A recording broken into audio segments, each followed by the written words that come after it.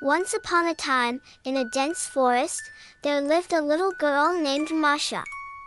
She was a cheerful and adventurous girl who loved exploring the woods around her home. One day, while wandering in the forest, Masha stumbled upon a cozy cottage. Curious, she peeked inside and saw that it belonged to a friendly bear.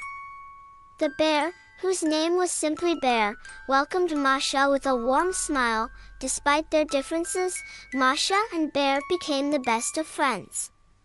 They spent their days playing games, going on adventures, and sharing delicious honey from Bear's honey pots. However, their friendship faced a challenge when a mischievous rabbit named Bunny started causing trouble in the forest. Bunny would steal food from the other animals and create chaos wherever he went. Determined to restore peace in the forest, Masha and Bear devised a clever plan to outsmart Bunny. With Masha's quick thinking and Bear's strength, they were able to catch Bunny and teach him the importance of kindness and cooperation.